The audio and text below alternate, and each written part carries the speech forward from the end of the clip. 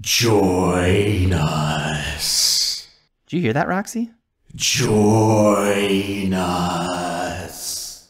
Is it saying join us? Is the Evil Dead here in the scary basement? Join us. Well, you know what, Roxy? I'm not going to let the Evil Dead just take my soul like it did to all those teens in the movie. Hey, Evil Dead, what's your offer? Join. Uh, uh, oh my, but my offer.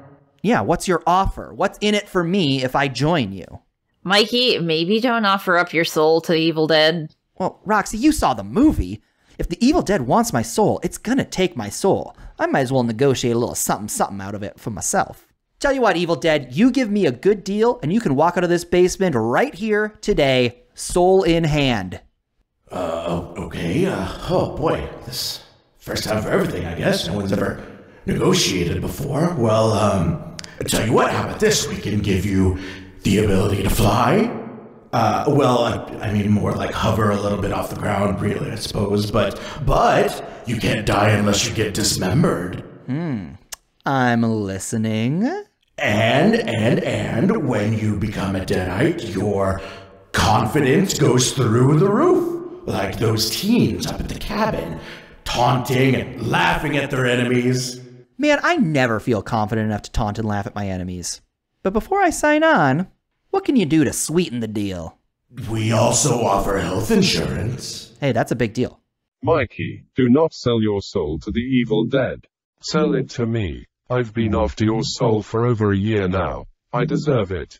Ooh, hoo, hoo, hoo, woof. Embarrassing opening salvo, pal. Yeah, my dude, that is a bad look. All right, you don't deserve anything. You can earn my soul, or you can take a walk. Well then, Mikey, why don't you ask the evil dead about the consequences of becoming a deadite? Evil Dead, anything to respond with?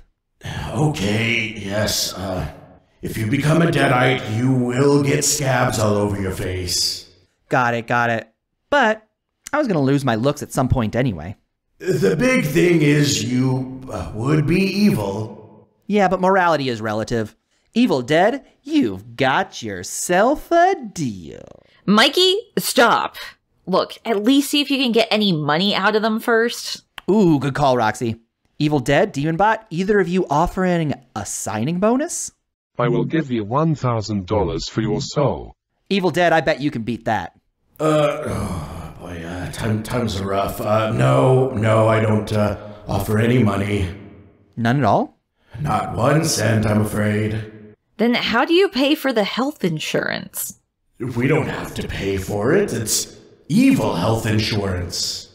When you think about it, isn't all health insurance evil health insurance?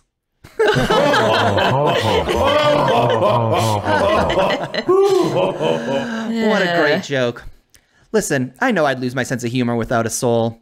I do appreciate your interest in my soul here, Demon Bot, Evil Dead, but I think I'm going to hang on to this ephemeral little summation of my spiritual and emotional existence for a little while longer. Ah, that is unfortunate. Evil dead, would you like to grab a beer and talk shop? You buy-in?